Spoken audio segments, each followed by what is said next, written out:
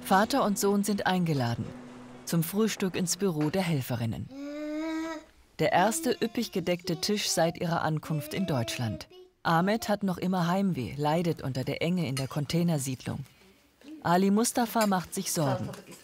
Seine Hoffnung ist, dass die beiden Frauen ihm helfen, eine neue Unterkunft zu finden. Ahmed dagegen ist einfach nur froh, unter Menschen zu sein.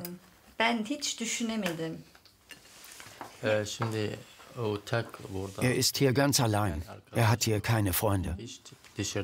Er geht überhaupt nicht raus. Er ist 24 Stunden lang im Zimmer. Er will nicht rausgehen.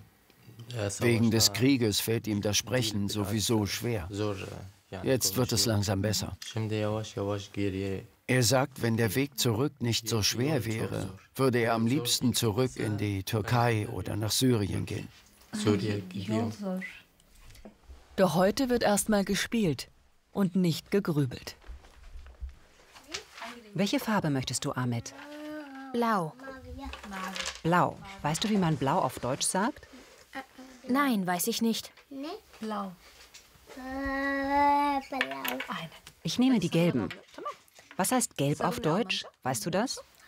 Gelb. Eins. Was ist eins auf Deutsch? Eins, Ja. Eins. zwei. Gucken. Ein, eins, zwei. Ja sonra. Mhm. Wir beschäftigen uns jetzt mit äh, Ahmed, ähm, weil wir ihn auch im Flüchtlingslager ja, erlebt haben. Und die Umstände dort waren halt sehr unglücklich, gerade für so ein kleines Kind. Und äh, wir wollten ihm halt ein bisschen Normalität schaffen.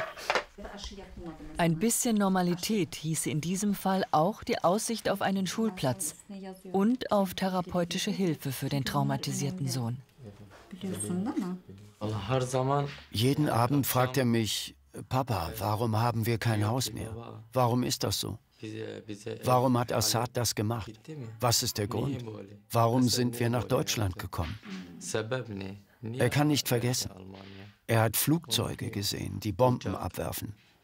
All das hat er mit angesehen. Und jedes Mal hat er gefragt, warum haben die das gemacht? Ali Mustafa hat seine Flucht über den Balkan mit dem Handy dokumentiert. Das bist du und das ist Ahmed, oder? Ahmed.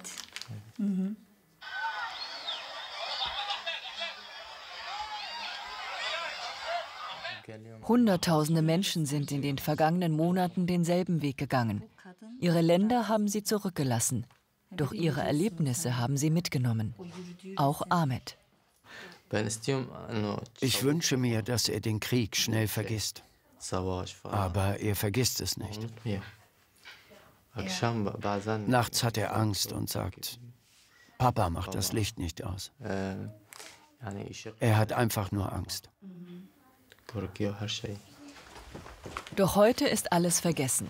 Ahmed hat Wichtigeres zu tun.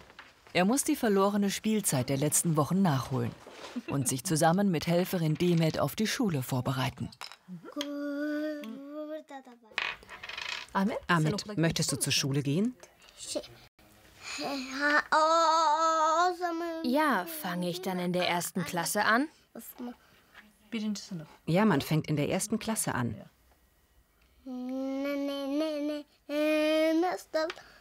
Wie ist die erste Klasse?